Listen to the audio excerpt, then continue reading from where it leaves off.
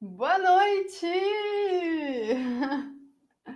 Estão por aí? Estão me ouvindo? Eu estou pela primeira vez transmitindo com esse microfone. Ele é um pouco mais sensível. Vamos ver se ele está bem configurado. Aguardo aí o retorno de vocês para saber se vocês estão me ouvindo bem. Qualquer coisa, eu tenho outros dois microfones aqui, na verdade, um outro microfone e um fone de ouvido, aqueles que vocês já conhecem bem. Então, estou esperando aqui. Boa noite, estão ouvindo? Áudio e vídeo ok. Legal. Yay.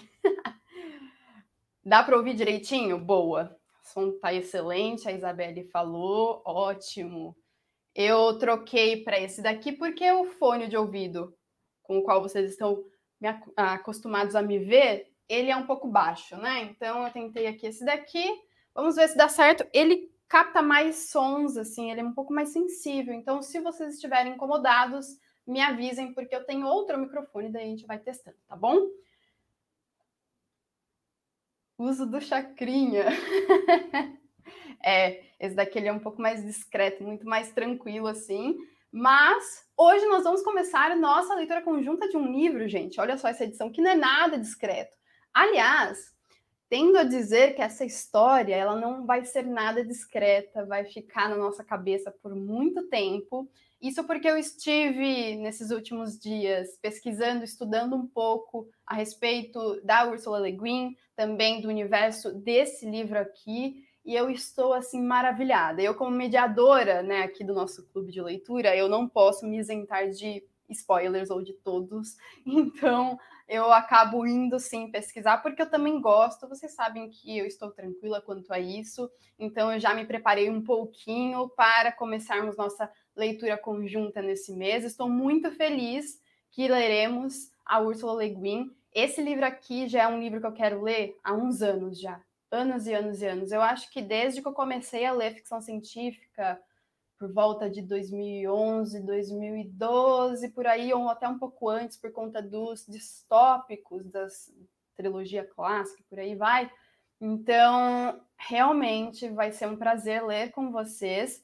Essa que é uma das mais famosas escritoras de ficção científica, das poucas eu poderia dizer, né? Porque infelizmente esse é um gênero bastante assim tomado pelos escritores homens. Então, também eu fico muito feliz, né, de começarmos nossa leitura conjunta no Dia das Mulheres, no Dia Internacional da Mulher. E, enfim, eu estou realmente muito feliz de estar aqui com vocês hoje.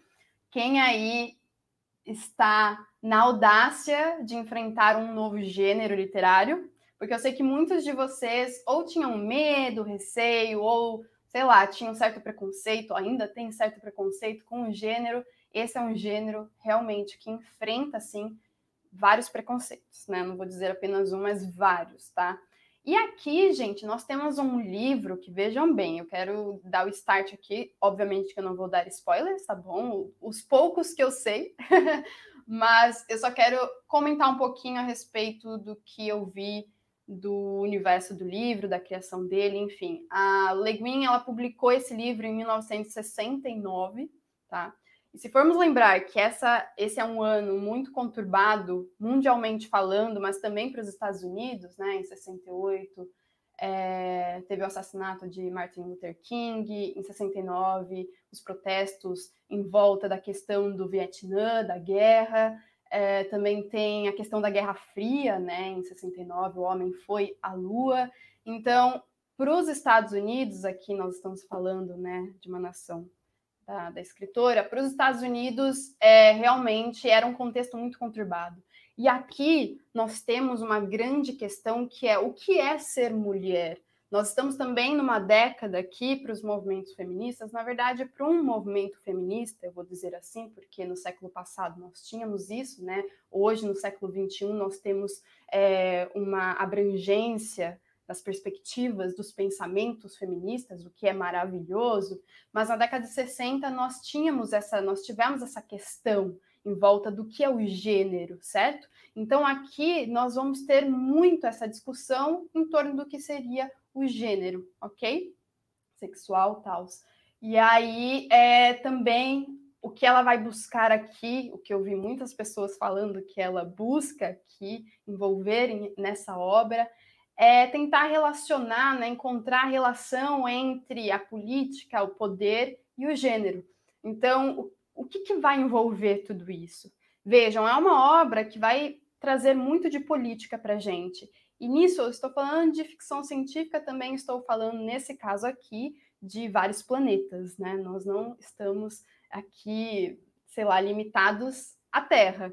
Nós estamos falando de outros tantos planetas alienígenas. O próprio protagonista, em alguns capítulos, porque também vamos conversar sobre isso mais para frente, ele vai ser um alienígena em mundos, né? Em um mundo ali específico. Então, assim, a gente vai fazer, nós vamos fazer uma viagem e tanto, tá?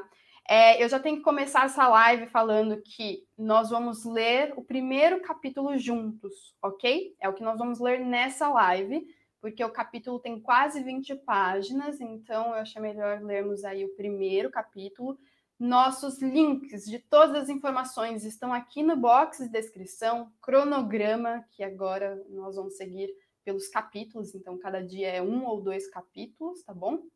É, nós também temos o link para o chat no Telegram aberto para todo mundo que quiser entrar, conversar, discutir. O chat, tanto o chat aqui da live quanto lá no grupo do Telegram, tem algumas regrinhas básicas que é respeitar todo mundo, não há espaço de divulgação, o único assunto ali permitido é o livro em questão e a experiência tá, de leitura conjunta dele. E também, spoiler, a gente sempre fala o que aconteceu no dia anterior, no dia seguinte. Então, hoje, né, vamos dizer que amanhã é um novo dia. Amanhã nós vamos poder falar sobre a primeira meta e assim por diante. Aí é mais tranquilo de ninguém receber spoiler quem estiver acompanhando o cronograma da leitura conjunta. Se vocês quiserem né, receber um conteúdo extra aí, que é de acompanhamento mesmo de todas as metas, comentando todo o livro, nós temos o podcast da leitura conjunta, que acontece todos os meses e comenta aí, episódio por episódio, todas as metas lidas, tá? Esse é um conteúdo exclusivo para os padrinhos, né? Para os madrinhos, que eu chamo carinhosamente, os apoiadores do canal. Então, vou deixar também um link para o Catarse ali no box de descrição. Se você não conseguir apoiar né, mensalmente o Literaturas, não tem problema nenhum. Vocês acompanhando o conteúdo que eu posto aqui no Literaturas também apoia e muito o meu trabalho. Inclusive, também temos aqui o Super Chat para doações ocasionais, se vocês quiserem fazer durante as lives, né? Nosso cronograma de lives também, nós temos essa daqui de início, em que vamos conversar um pouquinho sobre o início, lermos juntos em voz alta o primeiro capítulo, é, nós vamos ter no dia 17 uma live comentando o que vamos ter lido até então, então metade do livro, mais ou menos. No final, gente, do mês, nós vamos ter aqui, vejam bem, eu, eu pegar a data, porque eu já não lembro. Pera, estou abrindo aqui. Achei. No dia 29, tá? Quase no finalzinho do mês, nós vamos ter também sempre às 19 horas a nossa última live, que vai ser com o Rafa Otati, o Rafael Otati. Veja bem, eu preparei aqui todo uma, um textinho, quer dizer, o Rafa preparou para gente um textinho para eu apresentá-lo para vocês. Vejam quem vai estar com a gente na última live, conversando sobre esse livro, sobre ficção científica. O Rafa ele é um leitor assíduo desde sempre, formou-se em letras e a paixão pela literatura o levou ao mestrado e depois ao doutorado em literatura comparada na UFRJ. Ele acredita que o livro deve ser acessível e mais difundido, então ele criou o perfil arroba elrafa.lit no Instagram. Vocês encontram ali o arroba no box de descrição e essa, esse, essa apresentação que eu estou lendo para vocês, tá bom? Com isso, a profissão de professor cedeu espaço para de produtor de conteúdo digital, em especial para as redes sociais e podcasts. Então, ele produziu conteúdo para a marca Poemice, assim como apresentou o podcast oficial da UBUC e também da Bienal do Livro de São Paulo 2019. Ele faz parte da GECONLIC, que é um grupo de estudos vinculado à Faculdade de Letras da UFRJ, que vem estudando desde 2014 sobre ficção científica, pós-humanismo, Black Mirror e distopias. Como consequência, então, ele acabou fundando, junto ao seu amigo e parceiro Mário Félix, que é o arroba Félix Literatura, o Clube de Leitura Estante Distópica, gente, que está rolando desde 2020. Sua motivação veio da quantidade avassaladora de distopias em séries e filmes. Isso levou a uma reflexão, né, de que todos esses roteiristas estavam bebendo nas fontes dos livros de décadas atrás. Então, né, por que não juntar e disseminar distopias clássicas pelas estantes dos leitores? Então, para participar desse clube que lê livros distópicos, entre em contato pelo e-mail contato@estantedistópica.com.br, que eu vou deixar agora aqui, agora não, já está no box de descrição. Ali você também encontra um link para você se inscrever na newsletter que os dois criaram também sobre ficção científica. Então tenho certeza que vocês vão gostar muito. Já saiu a primeira edição eu recebi, eu adorei. Sempre informações muito valiosas sobre ficção científica. Recomendo para vocês darem uma olhada então aqui no box de descrição, onde vocês encontram todos esses links. E assim, gente, vai ser uma honra e tanto. Ó, o Rafa está aqui, eu tô vendo ele comentando. É, Rafa, muito obrigada por ter aceitado o convite do Literatura, esse meu convite para estar aqui com a gente, discutindo sobre esse livro que eu sei que você gosta muito, né? Se não me engano, é isso, você gosta muito desse livro. Então, estou já ansiosíssima para todas essas lives, inclusive a última que teremos, que será com o Rafa, tá? Hoje, então, gente, nós vamos ler o início do livro. E eu também vou ter que dar aqui aquela desculpa básica de início, porque são nomes muito do diferentões. Então, provavelmente minha pronúncia vai, quando eu não gaguejar, vai sair esquisita ou não sei o que. A gente vai se ajeitando com a pronúncia de todos esses nomes daqui, tanto nome de protagonista, de personagens, quanto de lugares, enfim. Nós vamos juntos, de mãos dadas, vamos chegar lá. O Rafa tá falando que é apaixonado pelo livro, olha só. Legal. A honra é toda minha, Rafa. Então, é isso, gente. Hoje nós já vamos começar, por quê? Sem muito preâmbulos. É porque o primeiro capítulo ele é um pouquinho mais extenso, né? Do que os outros que lemos no começo, é, nos meses anteriores. Eu acho que teve só um outro livro de, de nossas leituras conjuntas que foi um pouquinho mais extenso, mais o começo, mas bora lá então. Deixa eu ver. Exato, a, re, a re, gente, vamos igualar aí o número de likes com o número de vocês assistindo a essa nossa primeira leitura, live de leitura conjunta. O Ricardo falou que tentou ler hoje, antes da live, mas não deu tempo. Então vai ser agora, bora, todo mundo. Eu já li, tá? Por conta desses nomes diferentões, eu quis me ambientar melhor no livro, no universo dele, porque eu lerei, né? Eu lerei aqui para vocês em voz alta, então eu quis já me preparar um pouquinho. O mundo que a Le Guin cria é absurdo de bem pensado, a Lara falou. Tanto que eu me perdi várias vezes porque é de uma complexidade e detalhe genial. Bacana, Lara. A Lara já leu, hein, gente? Aliás, a Lara já leu o desse mês e o do próximo mês. No próximo mês já temos definido que vai ser o livro Torturado, tá? Já fica aqui também o merchan do próximo mês, o aviso, o informe, o que vocês preferirem, é do livro do próximo mês, ok? Deixa eu ver o que vocês estão falando aqui. Vocês estão... A gente inventa a nossa própria pronúncia, exato. Gad Brotos falando, dando a real, é isso.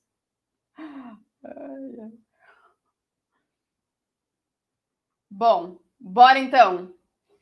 Peguem aí o livro de vocês. É... Enquanto vocês pegam o livro, aliás, eu tenho os dois, né? Eu preferi pegar esse daqui. Ah, e o Sancho chegou. Sancho chegou.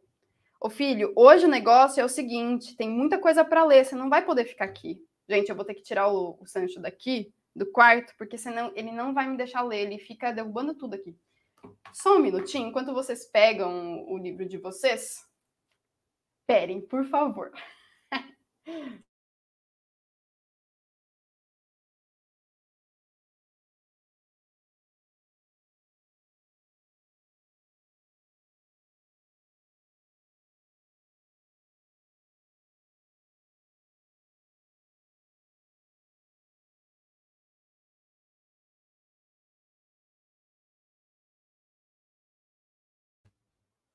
Pronto. Estão me ouvindo? Que eu tive que reconectar aqui o microfone. Madrinhos, madrinhos novos, madrinhos novos no Catarse, mas velhos de casa já, tem um lugar lá na página do Catarse do Literatures, que é a área de novidades, é uma abazinha que está escrito novidades. É lá que vocês encontram todos os conteúdos, acessos, né, aos conteúdos exclusivos, tá bem? Inclusive o grupo no Telegram, no qual eu vou enviar todos os dias, é, referentes às metas literárias, um novo episódio do podcast. Então não percam, não deixem de entrar por lá, porque daí vocês ficam informados. Sim? Ah, então beleza. É, Rafa, nós vamos ler no mês que vem. O pessoal não me deixou fugir de torturado, o pessoal também correu atrás de mim e falou assim: vamos ler sim. Mas eu estou muito, muito ansiosa para ler esse livro. A Amanda falou que não larga da minha mão, que estará em todas as leituras coletivas. Acho muito que bom. então, bora lá, que a gente. É, nós vamos juntinhos e Aí mudando um pouco de gênero, de autor, de tema. Bora juntos. Estou aqui no capítulo 1 do livro. Ah, segura na minha mão, ou melhor, eu seguro na mão de vocês, porque já começa aqui a pronúncia. um desfile em Erhenrang. Erhenrang. Vai demorar um pouco para me acostumar. Um desfile em Erhenrang. Ai, Rafa, como você consegue? É fácil, né, ler na cabeça. Quero só ver vocês leem aqui. Bom, dos arquivos de REM, transcrito do documento ansível 0101101934-2 Gethen, ao estacionário em Olu. Relatório de Genli Ai, primeiro móvel em Gethen, inverno, ciclo Reiniano 93, ano ecumênico 1490 a 1497. O Rafa disse que não consegue. Vou colocar todo mundo aqui, todos vocês, pronunciando cada uma das palavras difíceis. Eu também, cada hora eu pronuncio de um jeito diferente. E aí, gente, eu fui ver audiobook, mas aí eu vi que era uma italiana lendo, e até falava sobre isso, né, sobre a pronúncia. Aí depois eu fui ver um né, estadunidense falando sobre o livro. Aí cada hora também é uma pronúncia, mas sigamos. Gente, eu amei esse início do livro. Amei. Fala, não vão, ninguém vai desistir do Lcast aqui não, hein? Eu, eu peguei essa da Antônia, porque alguns madrinhos participam do Lcast. Não quero ver ninguém desistindo por conta da pronúncia. Ah, vou pegar no pé de seis. Bora lá então. Olha o começo desse livro, que lindo. Farei meu relatório como se contasse uma história, pois quando criança aprendi em meu planeta natal que a verdade é uma questão de imaginação. O fato mais concreto pode fraquejar ou triunfar no estilo da narrativa, como a joia orgânica singular de nossos mares, cujo brilho aumenta quando determinada mulher a usa e, se usada por outra, torna-se opaca e perde o valor. Fatos não são mais sólidos, coerentes, perfeitos e reais do que pérolas, mas ambos são sensíveis. A história não é toda minha, nem narrada apenas por mim. Na verdade, não sei ao certo de quem é. Você poderá julgar melhor. Mas é toda uma só história, e se em certos momentos os fatos parecerem alterar-se com uma voz diferente, ora, você saberá escolher o fato que mais lhe agradar. Contudo, nenhum deles é falso, e isto é tudo uma só história. Ela começa no 44º diurnal do ano 1491, que no planeta Inverno, na nação Karhide, era Odharhahad, tua, ou 22 dia do terceiro mês da primavera do ano 1. É sempre ano 1 aqui. Só que a datação de cada ano passado e cada ano futuro muda no ano novo, quando se conta para trás e para frente a partir do agora unitário. Assim, era a primavera do ano 1 em Erhenrang, capital de Karhide. Minha vida corria perigo e eu não sabia. Estava num desfile, caminhava logo atrás dos Gosworths e logo à frente do rei. Chovia. Nuvens carregadas sobre torres escuras, chuva caindo em vielas, uma cidade escura de pedra açoitada pela tempestade, por onde um veio de ouro serpenteia lentamente. Primeiro vêm mercadores, potentados e artesãos da cidade Erhenrang, uma fileira após a outra, magnificamente vestidos, avançando na chuva tão à vontade como peixes no mar. Seus rostos são calmos e atentos. Não marcham em compasso. É um desfile sem soldados, sequer soldados falsos. Em seguida, vêm os nobres, prefeitos e representantes, uma pessoa, cinco, 45 ou 400, de cada domínio e codomínio de Carhide, um cotejo enorme e pomposo, movendo-se ao som de clarins, pedaços ocos de ossos, de osso e madeira, e da cadência simples e monótona de flautas elétricas. Os vários estandartes dos grandes domínios emaranham-se açoitados pela chuva, numa confusão colorida com as flâmulas amarelas que enfeitam o caminho, e as diversas músicas de cada grupo se chocam e se misturam em variados ritmos que ecoam na viela de pedra. Vocês estão o próprio meme da Nazaré, né, gente? Calma, isso vai fazendo mais sentido com o tempo, tá? Em seguida, um grupo de malabaristas com esferas polidas de ouro que atiram para cima em voos reluzentes apanham e arremessam novamente, formando chafarizes de malabarismos brilhantes. Todas ao mesmo tempo, como se tivessem literalmente capturado a luz. As esferas de ouro resplandecem como vidro. O sol está aparecendo por entre as nuvens.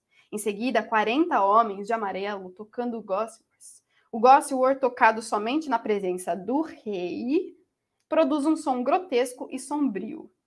40 é, tocando ao mesmo tempo abalam a razão de qualquer um, abalam as torres de Erhenrang, abalam as nuvens ao vento, fazendo cair os últimos respingos de chuva. Se esta é a música real, não é de admirar que os reis de Karhide sejam todos loucos. Em seguida, o destacamento real, guardas, funcionários e dignatários da cidade e da corte, deputados, senadores, chanceleres, embaixadores, nobres do reino, nenhum deles marchando ou formando fileiras, mas caminhando com grande dignidade. E entre eles está o rei Argaven, Argaven, Argaven, quinto, de manto, camisa e culotes brancos, perneiras de, cor, de couro da cor de açafrão e um pontiagudo barrete amarelo. Um anel de ouro no dedo é seu único adorno e o símbolo de sua posição. Atrás desse grupo, oito tipos fortes carregam a liteira real, a superfície coberta de safiras amarelas, na qual nenhum rei é carregado há séculos, uma relíquia cerimonial do muito tempo atrás. Junto à liteira caminham oito guardas com revólveres de incursão, também relíquias de um passado mais bárbaro, mas não vazias, e sim carregados com projéteis de ferro macio. Morte caminha atrás do rei.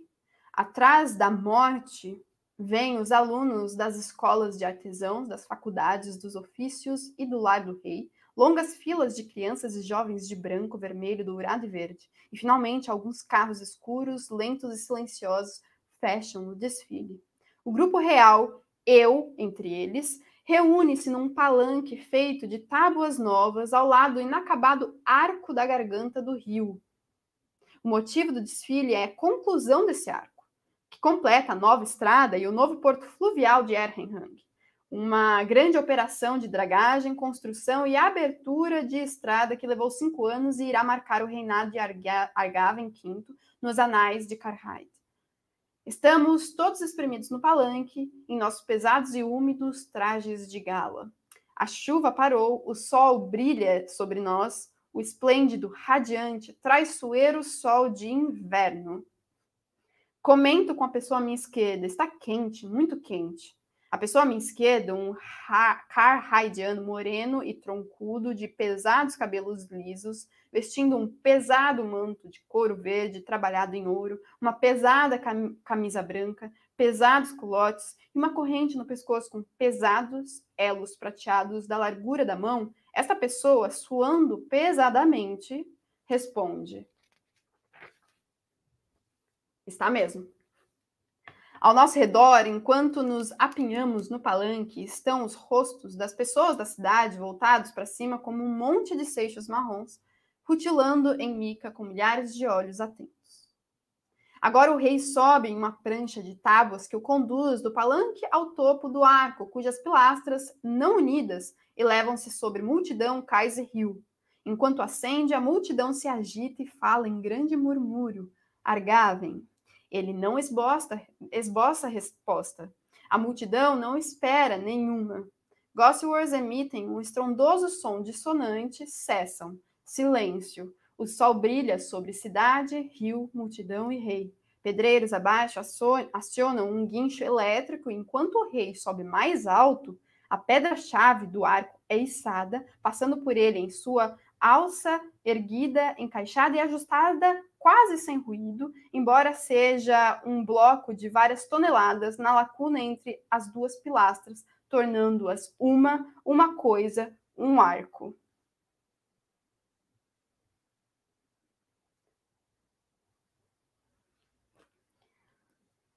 Hum, um pedreiro com pai balde aguarda o rei no alto do andaime. Todos os outros operários descem em escadas de corda como um enxame de pulgas. O rei e o pedreiro ajoelham-se lá no alto entre o rio e o sol, cada um em seu pequeno espaço no andaime. Apanhando a pá, o rei começa a rejuntar com argamassa as juntas extensas da pedra-chave. Ele não dá simplesmente uma batida na pedra e devolve a pau ao pedreiro, mas põe-se a trabalhar metodicamente.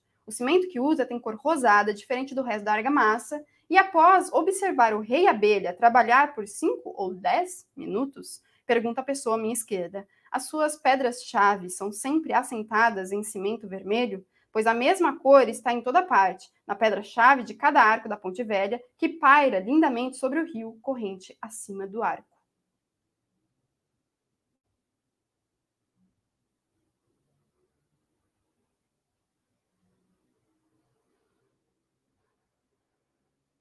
Enxugando o suor de sua testa escura, o homem, homem, devo dizer, já que me referi a ele usando o gênero masculino, o homem responde: Muito tempo atrás, a pedra-chave era sempre assentada com argamassa de ossos moídos misturados com sangue. Ossos humanos, sangue humano. Sem o vínculo de sangue, o arco cairia, você sabe. Usamos sangue de animais hoje em dia. Esse era seu modo frequente de falar, franco, mas cauteloso, irônico, como se sempre consciente de que vejo e julgo como um alienígena, consciência estranha para alguém de uma raça tão isolada e em tão alto escalão. Ele é um dos homens mais poderosos do país, não tenho certeza do equivalente histórico apropriado de sua posição, vizir, primeiro-ministro ou conselheiro. O termo carhaidiano para o posto significa o ouvido do rei. É senhor de um domínio e nobre do reino, manipulador de grandes eventos. Seu nome é Teren Harth Remir Straven. Straven. O rei parece ter terminado seu trabalho de pedreiro e me alegro. Mas atravessando sob a curva do arco em sua teia de tábuas, ele começa a trabalhar do outro lado da pedra-chave, que afinal tem dois lados. Não adianta ser impaciente em Karhide. Eles são tudo menos um povo flomático, contudo são obstinados, são pertinazes, terminam de rejuntar juntas. A multidão na margem do Cés anima-se ao ver o rei trabalhando, mas estou entediado e com calor. Jamais havia sentido calor em inverno, mas é, jamais sentirei de novo. Entretanto, não consigo apreciar o evento. Estou vestido para a era glacial e não para o calor do sol em camadas e mais camadas de roupas, tecidas em fibra vegetal, fibra artificial, peles, couro, uma armadura maciça contra o frio, dentro da qual agora murcho como uma folha de rabanete. Por isso, nosso começo aqui de live, né, quando vocês estavam esperando começar, que eu coloquei uns é, cristalzinhos de neve. A pessoa gosta de um conceito, né? Trabalhada no conceito. Para me distrair, olho a multidão e outros participantes do desfile ao redor do palanque, os estandartes de seus domínios e clãs pendurados, imóveis e brilhantes sob a luz do sol. E displicentemente pergunto a Straven o que esse estandarte significa, e aquele e aquele outro. Ele conhece todos de que pergunto, embora haja centenas, alguns de domínios remotos, lares e tribos de, da fronteira da tempestade Perrin e da terra de Kerm. Eu mesmo sou da terra de Kern, ele diz, quando me admiro com seu conhecimento. De qualquer forma, é minha função conhecer os domínios. Eles são Karhide. Governar esta terra é governar seus nobres. Não que isso já tenha sido feito. Conhece o ditado? Karhide não é uma nação, mas uma briga de família?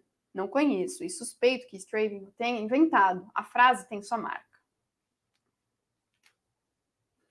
A Paula falou aquecimento global nesse planeta estranho.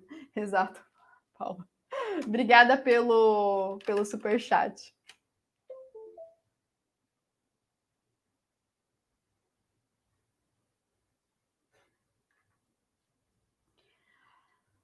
Voltando. Neste momento, outro membro do Kioremi, Kioremi, Kioremi, a Câmara Alta do Parlamento, presidido por Straven, abre, abre caminho, empurrando e se espremendo até alcançá-lo e começa a conversar com ele. Trata-se do primo do rei, Pemer Harg Remir Taib.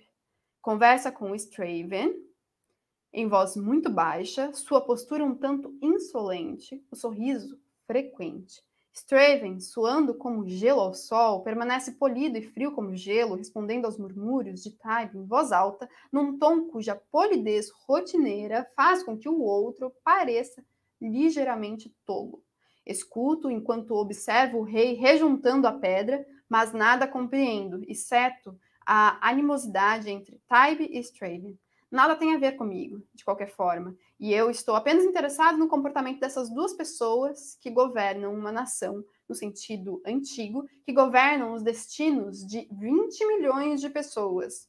O poder tornou-se algo tão sutil e complexo nos caminhos tomados pelo ecumen que só uma mente sutil começa, consegue enxergar seu funcionamento.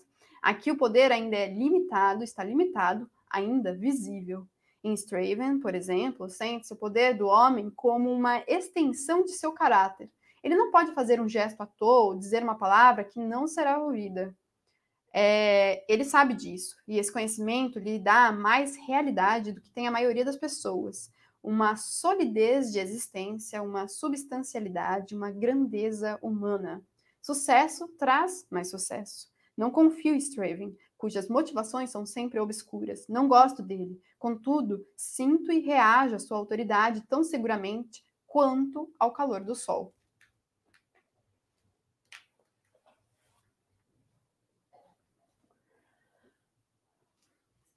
No mesmo instante em que penso, o sol deste mundo turva-se por entre as nuvens que se acumulam novamente, e logo uma pancada forte e esparsa de chuva cai rio acima, respingando as multidões da margem escurecendo o céu. Enquanto o rei desce na prancha, a luz atravessa as nuvens uma última vez e sua figura branca e o grande arco sobressaem por um instante, vívidos e esplêndidos contra o sul escurecido pela tempestade. As nuvens se fecham. Um vento frio chega cortando a rua Porto e Palácio, o rio torna-se cinzento, as árvores da margem estremecem. O desfile acabou. Meia hora depois, está nevando.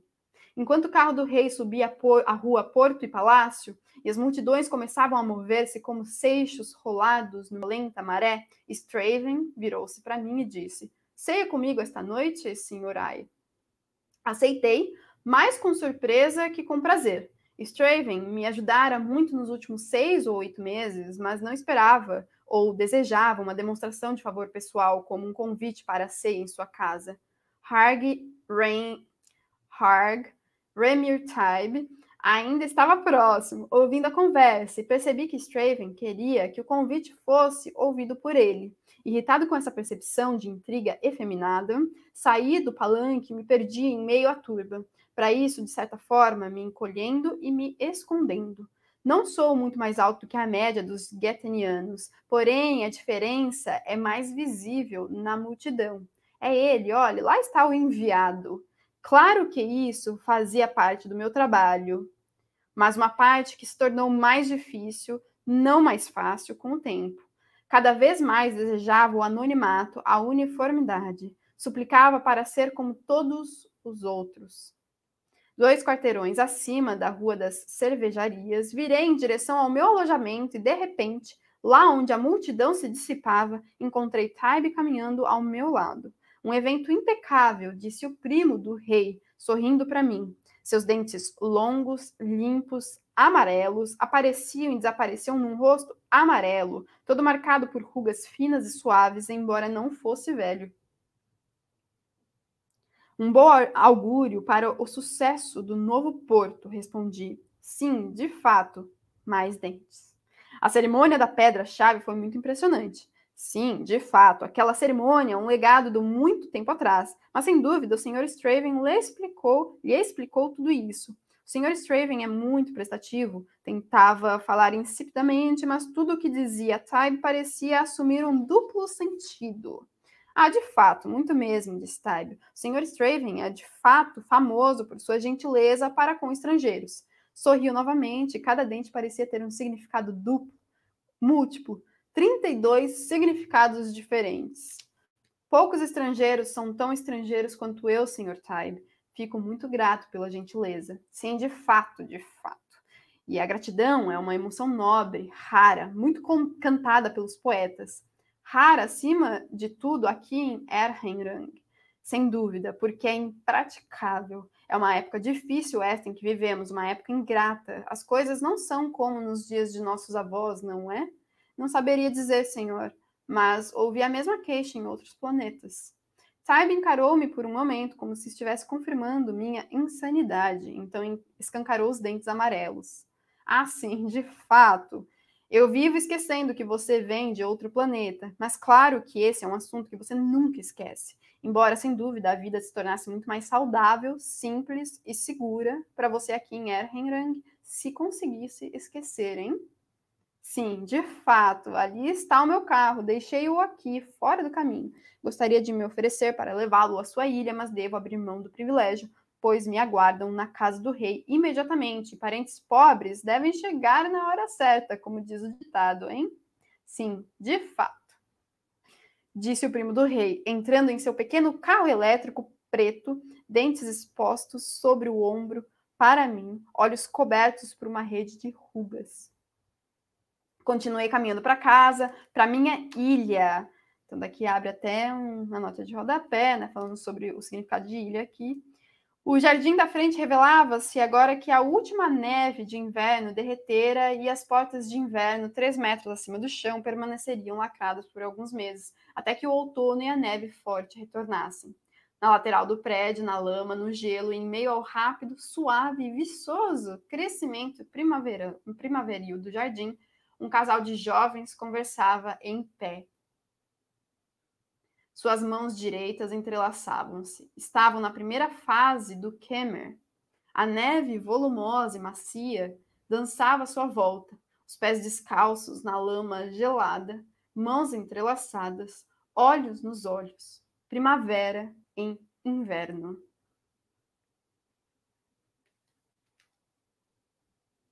Jantei em minha ilha e, ao soar a quarta hora nos gongos da Torre Remy, estava no palácio, pronto para a ceia. Carraidianos fazem quatro refeições sólidas ao dia, café da manhã, almoço, jantar e ceia, além de diversos lanches e merendas casuais entre elas. Não existem animais de grande porte que forneçam carne em inverno, nem produtos derivados de mamíferos, leite, manteiga ou queijo. Os únicos alimentos ricos em proteínas e carboidratos são diversos tipos de ovos, peixes e castanhas e os cereais rainianos. Reinianos. Acho que é isso. Uma dieta pobre para um clima tão rigoroso, por isso as pessoas se reabastecem com frequência. Eu me acostumara, assim, a comer a intervalos de poucos minutos. Somente mais tarde naquele ano descobri que os guetenianos haviam aperfeiçoado não apenas a tática técnica de se empanturrar incessantemente, mas também de passar fome indefinidamente. A neve ainda caía, uma amena nevada de primavera muito mais agradável do que a chuva ininterrupta do degelo de pouco antes. Tomei meu caminho para e pelo palácio na escuridão pálida e tranquila da neve, perdendo-me apenas uma vez. O palácio de Erhenrang é uma cidade dentro da cidade. Uma vastidão murada de palácios, torres, jardins, pátios, claustros, pontes cobertas, túneis sem teto, pequenas florestas e fortes com calabouços, o produto de séculos de paranoia em grande escala.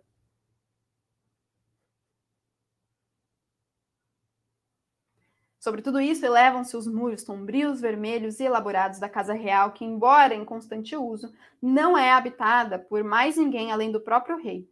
Todos os outros, criados, equipe de trabalho, nobres, ministros, parlamentares, guardas ou quem quer que seja, dormem em outro palácio, forte, caserna ou casa no interior das muralhas.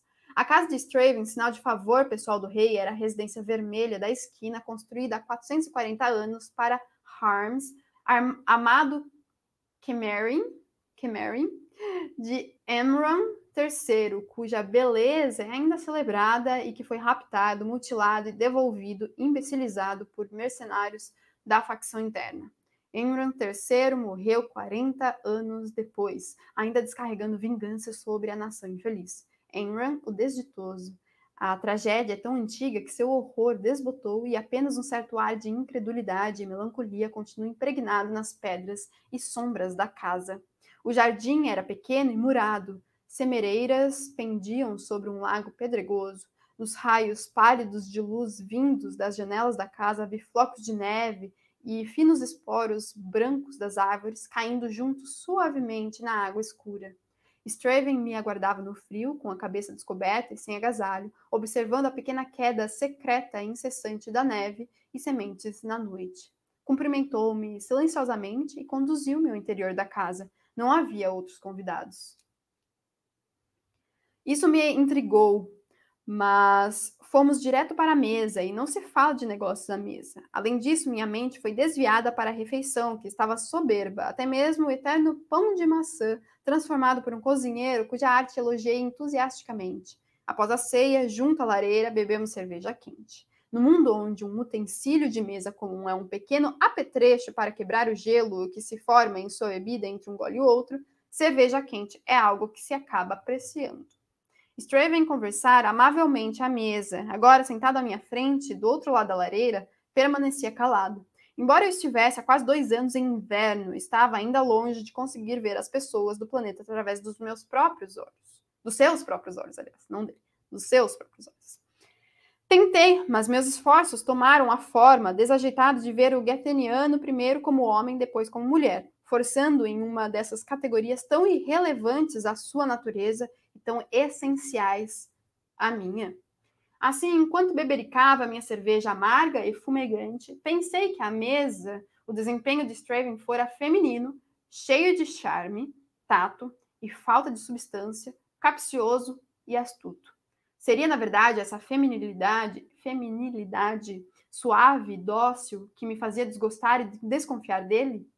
Pois era impossível pensar nele como uma mulher, aquela presença escura, irônica, poderosa ali ao meu lado, na escuridão iluminada pela luz do fogo.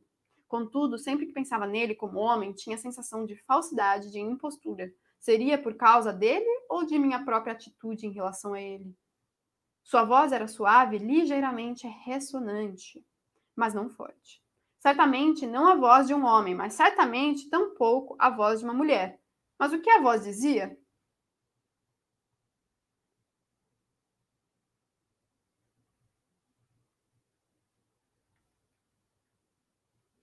Sinto muito, dizia, ter tido que adiar por tanto tempo o prazer de tê-lo em minha casa. Pelo menos fico contente por não haver mais nenhuma questão de patrocínio político entre nós. Fiquei desconcertado por um momento. Ele com certeza fora meu patrocinador na corte até agora. Será que queria dizer que a audiência que conseguira para mim com o rei para amanhã havia me elevado ao mesmo nível dele? Acho que não estou entendendo, respondi. Diante disso, ficou em silêncio, evidentemente também desconcertado. Bem, você há de entender, disse ele finalmente. Estando aqui, você compreende que naturalmente não estou mais agindo em seu nome, junto ao rei. Falava como se tivesse vergonha de mim, não de si próprio. Havia um evidente significado em seu convite e no fato de eu tê-lo aceitado que me escapava. Mas meu erro era de boas maneiras e o dele de princípios morais. A primeira coisa que me veio à mente foi que o tempo todo eu estivera certo em não confiar em Straven. Ele não era só astuto e poderoso, era desleal. Por todos os meses em Erhenrang, tinha sido ele a meu, a meu ouvir, a meu ouvir, é, a responder às minhas perguntas, a enviar médicos e engenheiros para verificar a condição alienígena do meu corpo e da minha nave, a me apresentar às pessoas que eu precisava conhecer, gradualmente elevando-me do status em meu primeiro ano de curiosidade monstruosa para o atual estágio de reconhecimento como misterioso enviado prestes a ser recebido pelo rei. Agora, tendo-me levado a esse grau perigoso de eminência, ele anuncia súbita e calmamente que está retirando o seu apoio. Você me fez confiar em seu apoio. Foi um equívoco. Quer dizer que, ao conseguir essa audiência, não apoiou minha missão junto ao rei, como você tive a, sensa a sensatez de parar antes e tinha prometido. Não posso. Fiquei muito irritado, mas não percebi nele sinal de irritação ou tentativa de se justificar. Poderia me dizer por quê? Após alguns instantes, disse sim, então fez outra pausa. Durante a pausa, comecei a pensar que um alienígena inepto e indefeso não deveria exigir explicações do primeiro-ministro de um reino, sobretudo quando esse alienígena não compreende, talvez jamais compreenda, as bases do poder e o funcionamento do governo do dito reino. Sem dúvida, era uma questão de Chief Gretor, prestígio, aparências, posição, orgulho, intraduzível e importantíssimo princípio de autoridade social em Karhide e em todas as civilizações de Gethen. E se era esse o caso, eu certamente não entenderia. Você ouviu o que o rei me disse durante a cerimônia hoje? Não. Straven curvou-se para frente em direção à lareira, ergueu o jarro de cerveja bra das brasas e encheu novamente a minha caneca. Não disse mais nada. Então, continuei. O rei não disse a você nada que estivesse ao alcance dos meus ouvidos. Nem dos meus, disse ele. Finalmente percebi que estava deixando escapar mais um sinal. Censurando seus rodeios efeminados, eu disse: Está tentando me dizer, Sr. Straven, que você não tem mais o favor do rei? Acho que então ficou irritado, mas não disse nada que o demonstrasse. Apenas: Não estou tentando lhe dizer nada, Sr. Ai. Por Deus, gostaria que estivesse. Olhou para mim com curiosidade. Pois bem, coloquemos da seguinte forma: existem algumas pessoas na corte que têm, em suas palavras, o favor do rei, mas não são a favor de sua presença e de sua missão aqui. Então você, mais que depressa, junta-se a ele, a eles, e me trai para salvar a própria pele, pensei. Mas não adiantava dizê-lo. Straven era um cortesão, um político, e eu um tolo por ter confiado nele.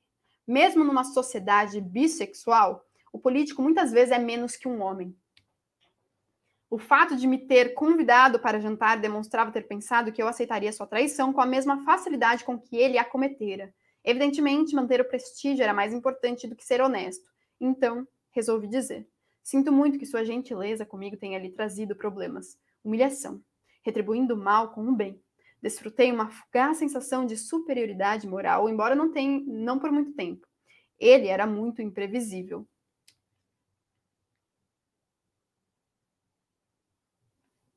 Recostou-se em seu assento e a luz rubra do fogo da lareira repousou em seus joelhos, em suas mãos elegantes, fortes, pequenas e na caneca prateada que segurava, mas deixou o rosto na sombra. Um rosto escuro, sempre sombreado pelo cabelo grosso e curto, pelos pesados cílios e sobrancelhas e por uma sombria serenidade na expressão. Alguém consegue ler o rosto de um gato, de uma foca, de uma lontra? Alguns guetenianos, pensei, são como esses animais de olhos profundos, brilhantes, que não mudam a expressão quando alguém fala com eles. Criei problemas para mim mesmo, respondeu por um ato que nada teve a ver com você, senhorai. Você sabe que Carhide, Carhide e Orgor, Orgorin, Orgorin disputam uma faixa de terra em nossa fronteira em Northfall, perto de Sessinuth. O avô de Argaven, Argaven, Argaven reivindicou o Vale Sinuth para Carhide. Os comensais nunca reconheceram a reivindicação.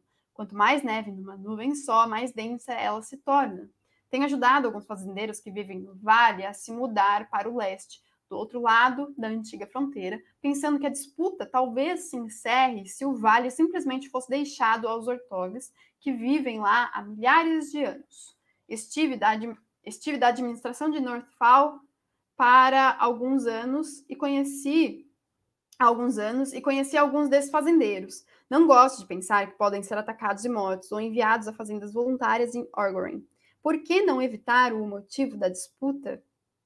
Mas essa ideia não é patriótica. Na verdade, é uma ideia covarde e vai contra o Chief Gretor do próprio rei. Suas ironias e aquele vai e vem de uma disputa de fronteira com Orgorin não me interessavam nem um pouco. Voltei à questão que havia entre nós. Confiando nele ou não, talvez Straven ainda me pudesse ser útil. Sinto muito, eu disse, mas parece uma pena permitir que um problema envolvendo alguns fazendeiros possa estragar as chances da minha missão com o rei. Há muito mais em jogo do que alguns quilômetros de fronteira. Sim, muito mais. Mas talvez o Ecumen, que tem 100 anos-luz de uma fronteira a outra, tenha paciência conosco por algum tempo. Os estáveis do Ecumen são homens muito pacientes, senhor. Vai esperar 100, 500 anos até que Carhide e o restante de Gethen deliberem e decidam se desejam unir-se ao restante da humanidade. Falo apenas com base em esperança pessoal e decepção pessoal. Confesso que pensei que com o seu apoio, eu também. Bem, as geleiras não se formaram da noite para o dia. O clichê veio prontamente a seus lábios, mas sua mente estava em outro lugar. Perdeu-se em pensamentos. Imaginei-o movendo a mim e a outros títeres seu jogo de poder. Você chegou ao meu país, disse ele finalmente, numa época estranha. As coisas estão mudando, estamos tomando outro rumo. Não, não é bem isso. Estamos indo longe demais no caminho que tomamos. Pensei que sua presença, sua missão, talvez evitasse que tomássemos o caminho errado, que nos desse uma opção inteiramente nova, mas no momento certo, no lugar certo. É tudo extremamente imprevisível, Sr. Impaciente com suas generalidades, eu disse: você deixa subentendido que este não é o momento apropriado. Seria aconselhável cancelar a minha audiência com o rei? Minha gafe soou ainda pior em Carhaidiano, mas Straven não sorriu nem se perturbou. Receio que somente o rei tenha esse privilégio, respondeu ele delicadamente. Oh, meu Deus, sim, não quis dizer isso. Coloquei a cabeça entre as mãos por um momento. Criado na sociedade livre e informal da Terra, jamais conseguiria dominar o protocolo ou a impassibilidade tão valorizados pelos Harhaidianos. Sabia o que era um rei, a própria história da Terra está cheia deles, mas não tinha nenhuma experiência concreta com privilégios, nenhum tato. Peguei minha caneca e tomei um gole quente e vigoroso. Bem, direi ao rei menos do que pretendia dizer quando podia confiar com você, em você. É contar com você. Ótimo. Ótimo por quê? Interpelei. Bem, senhorai, você não é louco. Eu não sou louco. Mas veja, nenhum de nós dois é rei. Suponho que pretendia dizer a Argaven, racionalmente, que sua missão aqui é tentar efetuar uma aliança entre Gethen e o Ecume. E racionalmente, ele já sabe disso. Porque, como você sabe, eu disse isso a ele. Defendi o seu caso enfaticamente, tentei despertar o interesse dele por você. Foi um equívoco, foi inoportuno. Esqueci por conta do meu próprio interesse em você que ele é um rei e não vê as coisas racionalmente, mas como rei. Tudo o que eu lhe disse significa simplesmente que o poder dele está ameaçado, que seu reino é um grão de poeira no espaço, é uma piada para homens que governam uma centena de planetas. Mas o Ecumen não governa, ele, ele coordena. Seu poder é exatamente o poder de seus estados e planetas membros. Ao aliar-se ao Ecumen, Karhad se tornará infinitamente menos ameaçado e mais importante do que jamais foi. Straven não respondeu por algum tempo. Ficou sentado contemplando o fogo, cujas chamas tremeluziam e refletiam em sua caneca e na corrente prateada larga e brilhante sobre seus ombros, sinal de sua posição. A velha casa estava silenciosa ao, ao nosso redor. Um criado havia servido a refeição, mas carraidianos, não tendo nenhuma instituição de escravidão ou servidão pessoal, contratavam, é, contratam serviços não pessoas e os criados tinham partido para suas próprias casas àquela hora. Um homem como Straven deveria ter guardas de segurança por perto em algum lugar, pois assassinato político é uma instituição muito viva em Carhide. No entanto, eu não tinha visto ou ouvido nenhum. Estávamos a sós. Estava sós com um estranho, no interior de um palácio escuro, numa cidade estranha, cheia de neve, em plena era glacial de um mundo alienígena. Tudo que eu dissera nessa noite, desde que chegara inverno, subitamente me pareceu estúpido e inacreditável. Como pude esperar que aquele ou qualquer outro homem acreditasse em minhas histórias sobre outros planetas, outras raças e um governo vagamente benévolo em algum lugar no espaço sideral? Era tudo absurdo.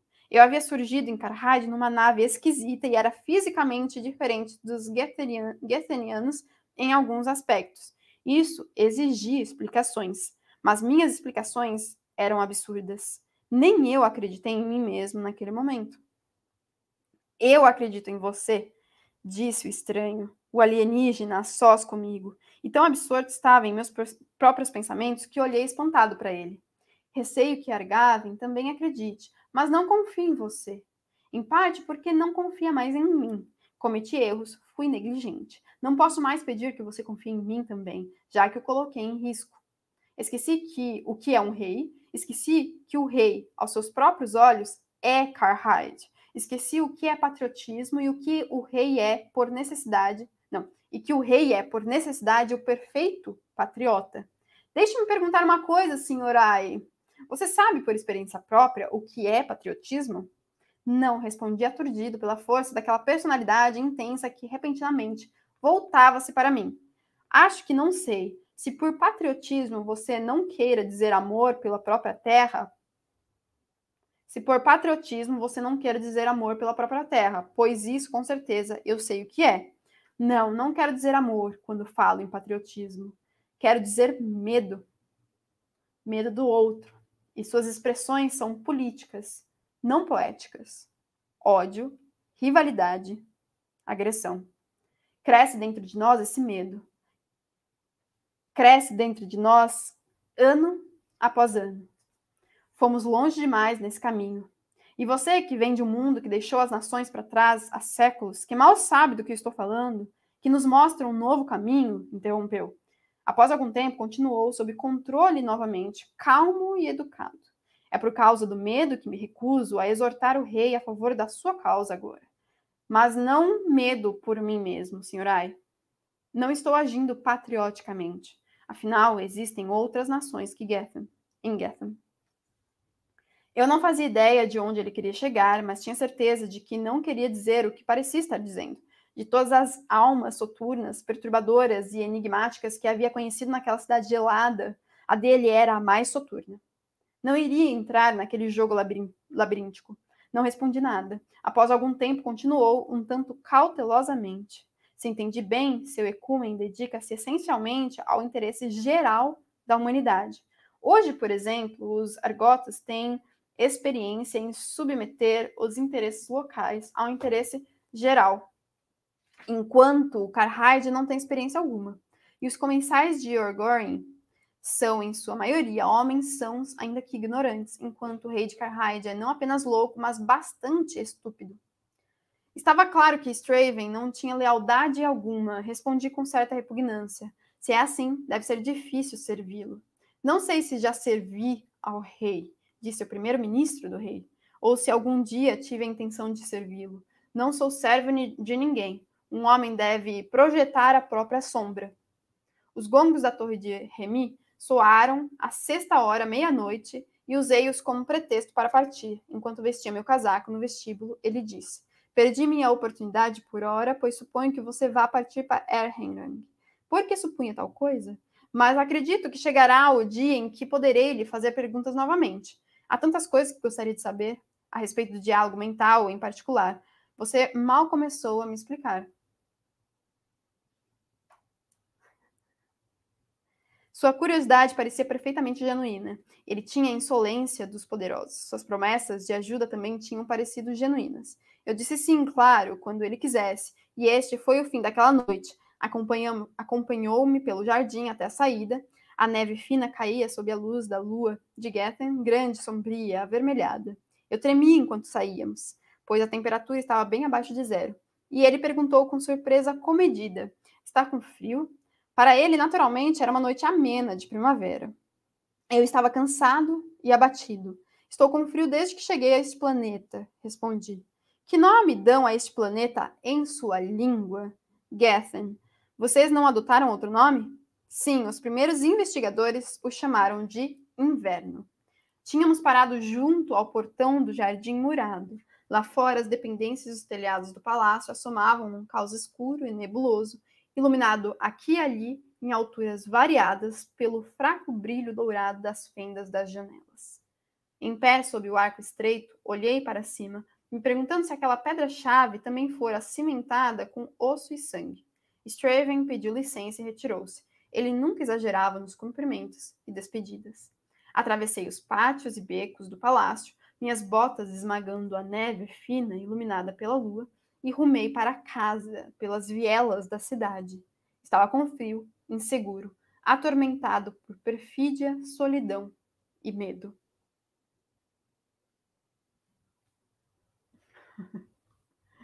Aê, chegamos! Tati diz que disse, hein? Difícil entender os nomes alien. Saímos do russo para uma língua alienígena. É, né? Nós saímos da nossa licença anterior, que era de crime e castigo, para um universo alienígena. E aí, gente, além da confusão, além de ser muita coisa para assimilarmos num primeiro momento, curtiram? Curtiram a escrita, curtiram a construção dos personagens, não é nem os personagens, né? As pessoinhas, mas a construção deles. Que conversa tensa. Pois é, Paula.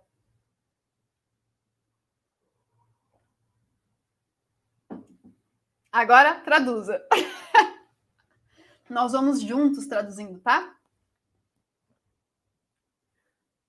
Tô doida.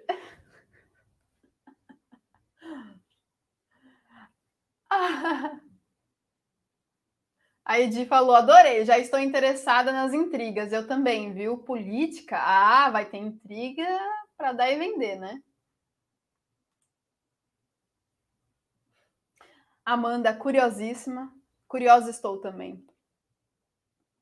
É, o Gato de Brotas falou muita coisa mesmo em pouquíssimo espaço. É, eu acho que esse primeiro capítulo ele é bastante desconfortável por isso, porque nós não conhecemos essa realidade de planetas como esses, de alienígenas como esses, né? Sequer temos viagem interplanetárias.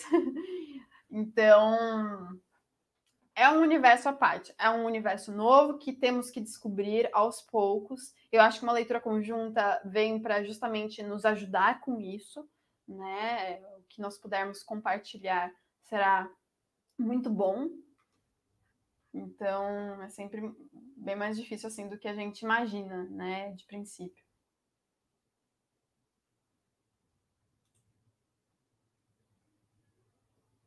A Daniela falou que posso estar louca, mas achei parecido com o Panem dos Jogos Vorazes, né?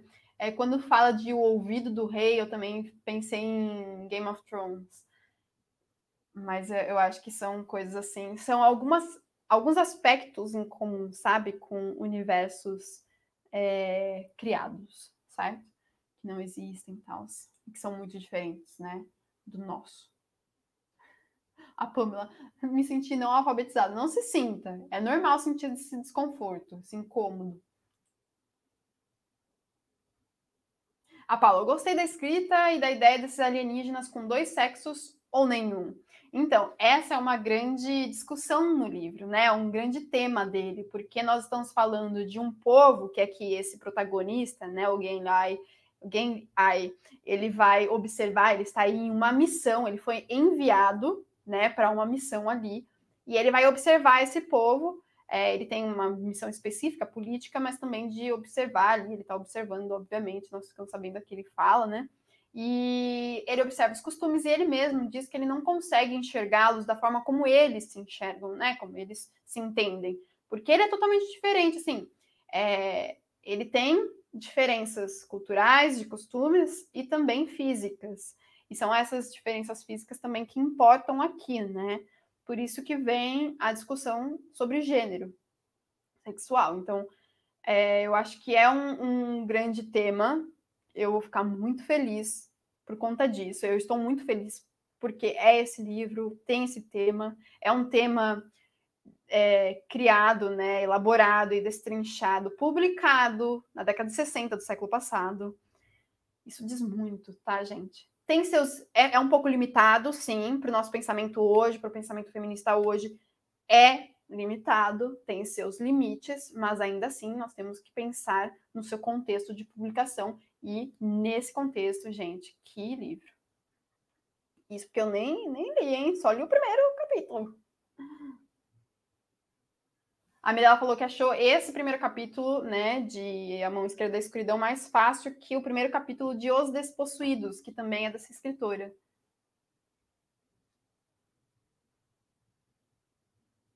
O Gás de Brotas falou, né? Os três primeiros livros da, da Le Guin, eu achei o capítulo inicial mais difícil também. Acho que é pelo estranhamento de um mundo novo.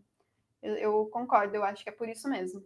É, só pode ser por isso, né? E porque, assim, tem uma complexidade, porque nós não sabemos o que ele está fazendo ali, primeiro, quem é ele, e o que está fazendo ali, quem são os outros, e o que os outros esperam dele, ou como os outros o enxergam ali.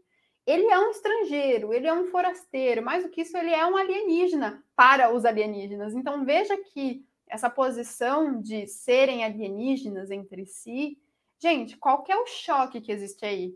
Há um choque total. Se a gente for inserir aí a política, né, nós estamos falando de um conglomerado de nações, de planetas, que são coordenados, né, por uma, uma organização aí, nós estamos falando disso e do outro lado de um reino, né? É isso também que o Straven falou aqui, deixou muito claro. Nós estamos falando sobre um rei.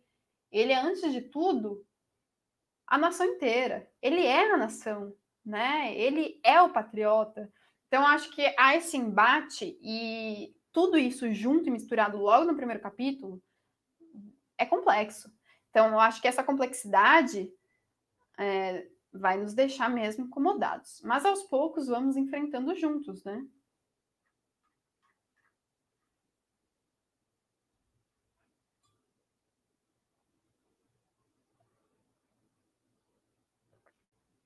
Sim, Mirella, exatamente. Há uma, exatamente. Há uma crítica que a própria Le Guin ouviu e também falou a respeito em um texto, né? Nós temos isso aqui no prefácio. É, há uma crítica em torno do livro que é sobre ele ficar preso nesse pa parâmetro binário de gênero, como a Mirella colocou aqui para gente, que hoje já está bem mais expandido, a gente né, tem outros diálogos a respeito disso. Então, ela se prende nesse parâmetro binário, né? E a gente sabe que vai muito além disso, que não é só isso. Então, há esses limites aqui, tá? Mas eu acho que é interessante para a gente conversar, inclusive, sobre essa expansão, né? Que hoje nós pensamos e ainda bem reconhecemos.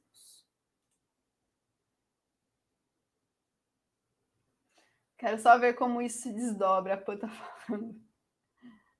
É, deixa eu ver o que vocês estão falando. Ah, sim. A Pan falou. Curioso para entender as questões de gênero. Tive a impressão de que quando o Gengli é, fala de características femininas e masculinas, ele atribuiu valores meio estereotip, estereo, estereotipados, né? Estereotípicos negativos para a parte feminina também. Mas aí a gente vai comentando melhor amanhã. É, eu já estou aqui fervilhando para criar o podcast. O podcast, gente, o primeiro episódio vai ser longo, tá? Já vou avisando, madrinhos que estão por aí Hum, tem muito para falar, muito para falar. Vocês sabem, né? Prolixa.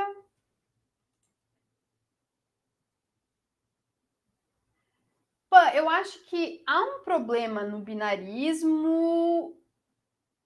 É, não sei se é um problema do ser um binarismo em si aqui, né? Eu acho que assim, há para a questão dela, da abordagem do livro, porque elas perguntam o que é ser mulher, e aí você fica no binário. Uh, mas, como é um mundo criado, então, né, você tem esse mundo à parte, né? Então, é um mundo ali. Só que eu acho que, não sei, a, a, alguns críticos, eu acho que até com razão, podem propor aí uma conversa que vá além, sabe? Mas é justamente isso que você falou também, esse valor negativo atribuído, né, ao gênero. Então, isso daí é, é bastante complicado. E eu, eu, vou ficar muito feliz de trazermos sempre isso à tona, sabe, para a nossa discussão quando possível. E é claro que eu sempre peço né, o respeito sempre de todos os grupos, que é uma das regras básicas.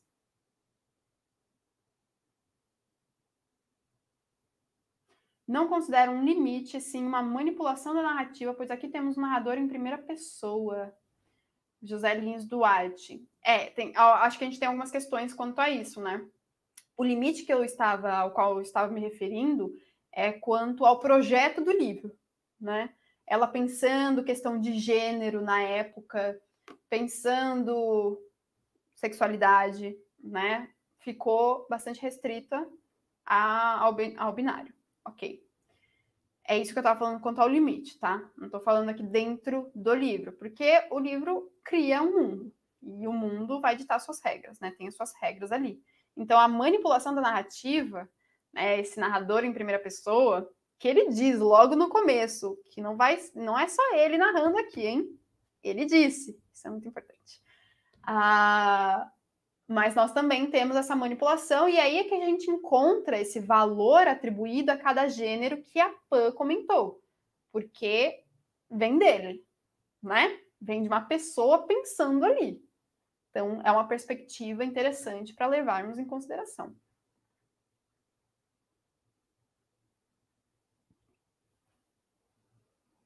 Exato, Mirella, foi isso que eu coloquei. O contexto da época tem que ser colocado, considerado com certeza. Hoje nós temos um contexto, naquela época tinha-se outro.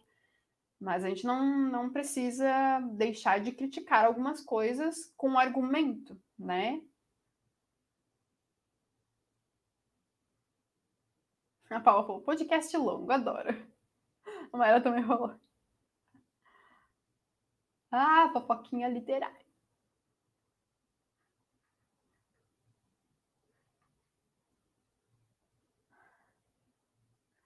Esse valor negativo é incrivelmente atual. Exato. Exato.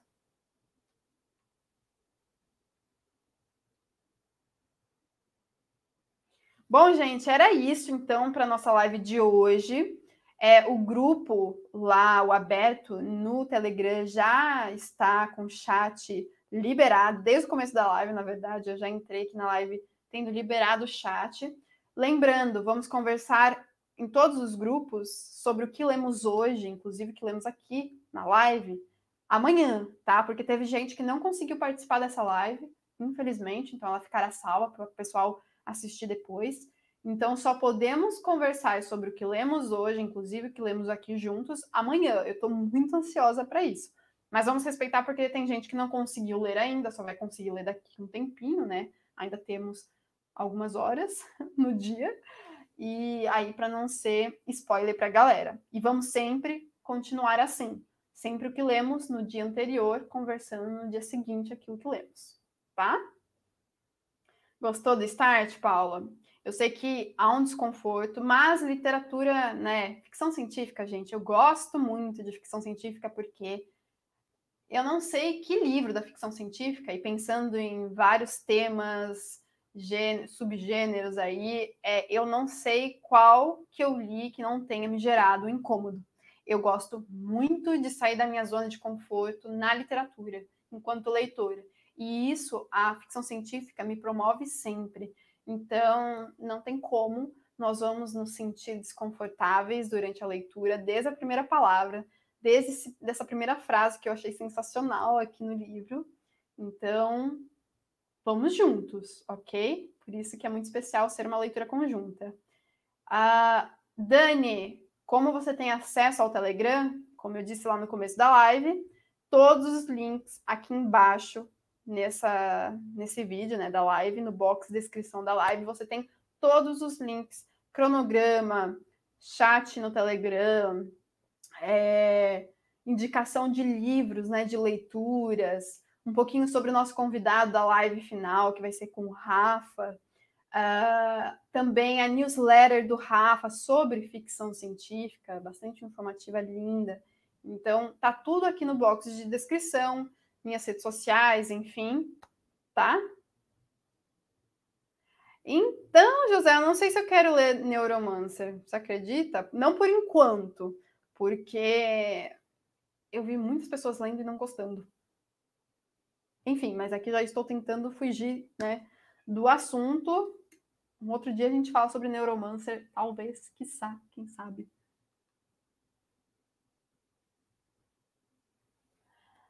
Boa noite, Edi. Obrigada eu. A animação aqui reina.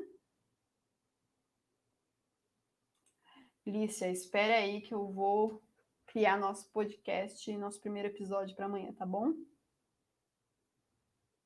Bom, É isso, muito obrigada pela companhia de vocês. Ó, começamos aí a semana juntos, então tenha uma boa semana, feliz Dia das Mulheres, né, para nós mulheres que conquistamos tantas coisas e ainda temos tantas outras coisas muito importantes para conquistarmos. É isso. Seguimos. Um grande beijo a todos e até mais. tchau, tchau, gente. Mahatma José? Não sei. É que eu pensei que fosse só nickname, sabe? Mas que legal, você é do clube dos nomes diferentões, como eu, Melody. Para quem não sabia o meu nome.